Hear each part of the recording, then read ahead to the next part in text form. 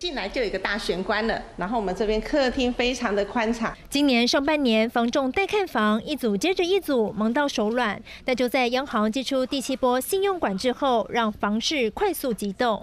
现在的成交量已经掉了将近七成。这次的台风，他们就连续放两天假，他们真的放两天假。你们知道，在房地产这个房仲中介业，甚至代销业，只要是在卖房子，他们是不休假的。产业的确是进入一个寒冬了。房仲业进入寒冬，有时一天连一组客人也没有。而数字会说话，因为唯一上市的房仲信义房屋最新财报出炉，税后纯益 EPS 双双下滑，更是季减超过四成。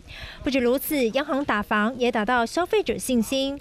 根据中央大学财经中心最新调查，十月消费者信心指数不止终结了连续五个月上升趋势，而房地产指标也月减二点零六点。买气低迷，房仲业感受很深。买房的信心当然是受到影响啊，因为买方他会觉得说这样下去的话，房价一定会下下跌嘛，对不对？大家再等等看，期待心理非常的强，所以他们这段时间他们。